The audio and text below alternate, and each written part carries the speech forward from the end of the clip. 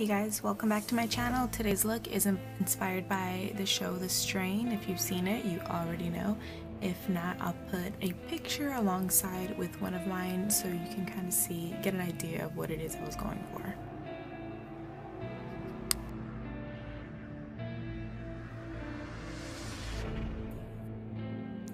Okay, so I've already started uh, concealing my eyebrows. I'm using the school glue and I'll post the link down below for that. So I've already done a layer of that and I'm using a translucent setting powder over it because I'm not going to be using something flesh toned. I want to make the face pale, so I need this white translucent powder.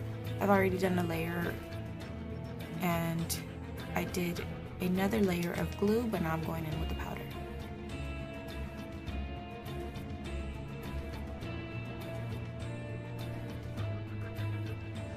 Alright, so I'm having some technical difficulties. If you have the scarring liquid, um, this one would have been from Mehron, but uh, I don't know what happened. It just solidified in the bottle, but um, if you have it, use it before putting on the face paint.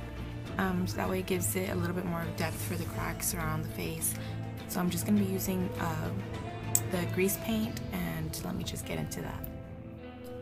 Okay, so I'm using the Mehron Foundation um, grease paint. I'm going to be dipping into the white and just a touch of the gray because it's not completely white. It's like a little off tone, so I'm going to be mixing those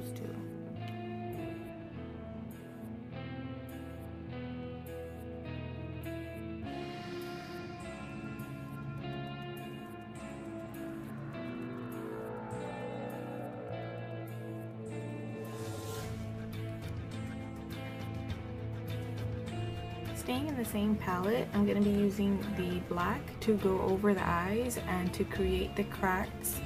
And for the cracks, I'm going to be applying it with this e.l.f. angled eyeliner brush.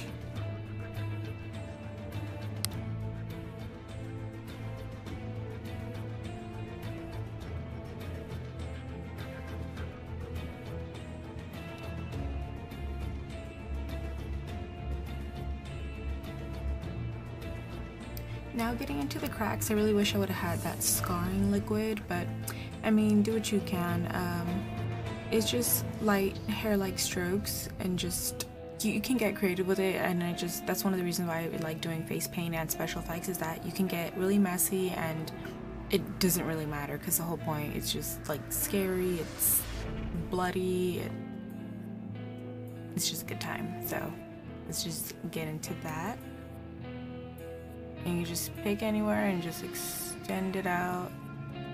Doesn't have to be a perfect line. Add your little details here and there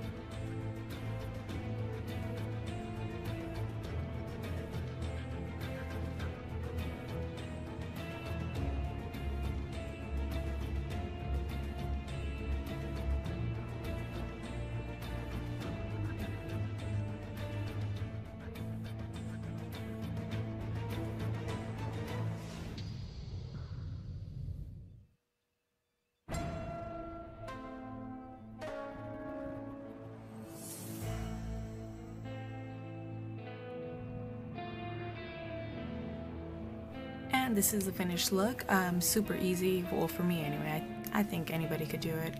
Um, hopefully you guys liked it. Please like and subscribe and stay tuned for the next tutorial. Thank you for watching